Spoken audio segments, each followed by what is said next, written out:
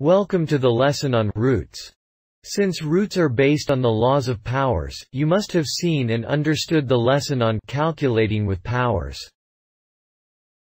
Then we can start. In the powers lesson we had learned that if we have something like 3 times 3, then we can write this as 3 squared, and 3 squared or 3 times 3 is 9. The roots mean if we only have the ending value here in the back, the 9, then we ask which number was multiplied by itself, in order to get this number. And to indicate this, we write the second root of 9. So here we had 3 squared. The 2 goes up to this sign up here. And the 9 we write under this line and the second root of 9 would then have the value 3. So we ask here, which number must be multiplied twice with itself, that we get 9. And the solution would be 3. Because 3 times 3 or 3 squared is 9. Now a word about the root sign. As you can see, this is actually an r with an extended top part. And the word root comes from the Latin radix, which translated means root. And this word can also be found today with the word radishes, the root. By the way, we also say root extraction for calculating a root. So remember, if we have this 9, then we want to go back to its source. To its root. In this case that's 3. Of course we can extend the power, for example, we can now write 3 times 3 times 3. Then 3 cubed would stand here and that gives 27. And then we could write third root of 27 is, right, 3, because 3 cubed is 27. Here we can once again write a 3. Then we get 3 to the fourth and that's 81. And of course, now we have to change our notation here.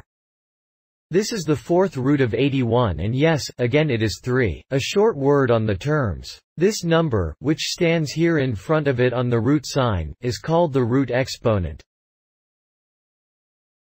For powers we said exponent, here it is the root exponent. That down here, that was the power value, is called the radicand. This is the root sign. And the result is called the root value. And the root value finally gives us the base of the power. If we have something like that, 3 to the fourth is 81. Fourth root of 81 is 3. By the way, we can also write it as follows. We say 81 is 3 to the fourth, that is, we enter 3 to the fourth for the 81 here.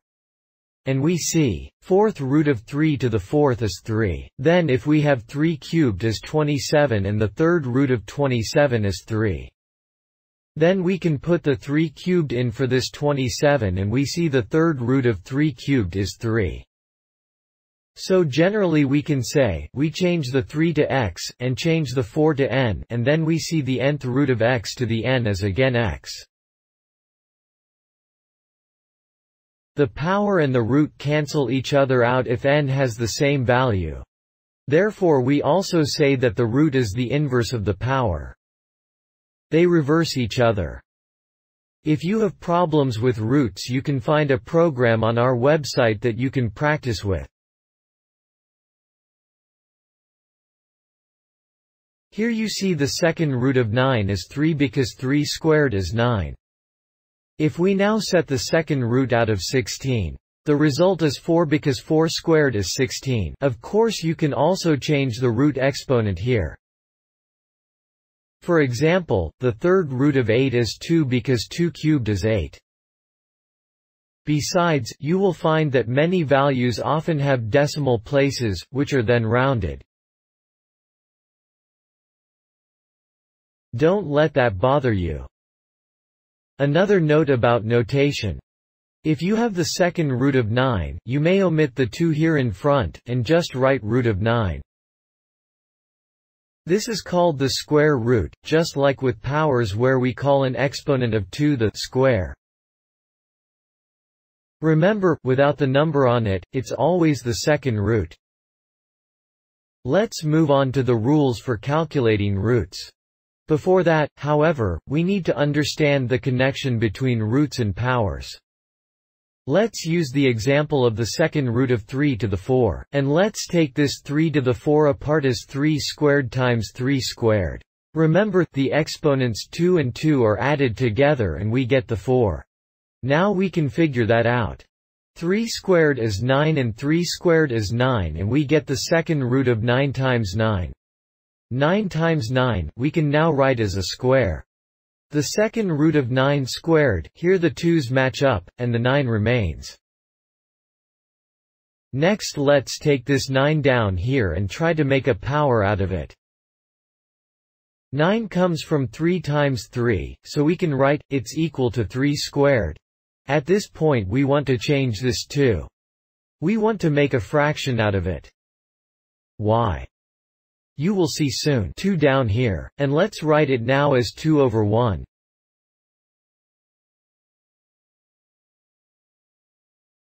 Now let's expand this 2 over 1 by multiplying by 2. We get 4 for the numerator and 2 for the denominator, that is 4 halves, so that's 2. Now we are going to put that 4 halves up here as the root exponent. We write it as equal to 3 to the 4 halves. And now we realize that 3 to the 4 halves is the same as the second root of 3 to the 4. Let's write both next to each other. And here we recognize a new rule. If we have the root we need to do the following. Here we write the radicand, the 3, as the base of the power. Then we take this 4 here, as an exponent. And we take this root exponent, the 2, as the denominator of the exponent. 4 goes up, 2 goes down in the fraction. That means we get 3 to the 4 halves. And more generally we can replace the 2 with an a and the 4 with a b. Same thing here, and the 3 becomes the variable x. And that is our new rule. The eighth root of x to the b is the same as x to the b divided by a. With this rule, we can save a lot of computational effort. For example take this problem. Compute the fourth root of 3 to the 8. Some would first calculate 3 to the 8. That comes to 6561 and from this the fourth root seems a bit difficult. Instead, we can apply this rule here. This means we convert this root into a power. And that gives 3 to the 8 quarters. And clearly 8 quarters is 2. So we can write 3 squared. And 3 squared is 9 again. As you can see, we came to our result very quickly. If you have a root, such as the root of 9, you should turn that into a power. First of all this is the square root. So we write the second root of 9. Then we rewrite 9 as 9 to the 1, because according to the power law, 9 to the 1 is 9. And now we have this form here. Eighth root of x to the b. That is the second root of 9 to the 1. And we can convert it into 9 to the 1 half. And of course, if you have a value like x to the one-third, then you know, that's the third root of x. And here instead of 3 you can use any natural number. So now we can formulate in general a variable x to the 1 over n as the nth root of x. Well, let's continue with the multiplication of roots. If you have something like the eighth root of x times the eighth root of y, that's equal to the eighth root of x times y. You are allowed to pull the root out on both factors. Why is that? Let's see. To prove this, we convert the two roots into powers. We know that here from x we can make x to the 1 and from y also y to the 1. Now we can pull the root exponent in the exponent and write it as a power. We get x to the 1 over a. times y to the 1 over a. Now let's recall the laws of powers, since we learned that we can have an equal exponent on two different bases. That means this is the same as x times y to the 1 over a. And here we turn the exponent back to a root. That means we get the eighth root from x times y to the 1. We can take away the exponent 1 here. And also the parenthesis. And we get the eighth root of x times y, just like up here,